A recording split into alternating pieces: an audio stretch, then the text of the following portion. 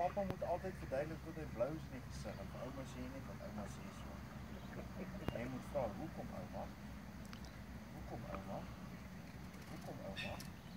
Hoekom sê ouma so? Tot ouma vir jou 'n goeie rede gee dan sê ja, ek kan nou verstaan.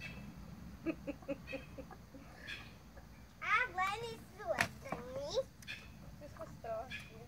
En jy gaan dieselfde met jou juffrouens by die skool doen. Hoekom juffrou? Hoekom juffrou?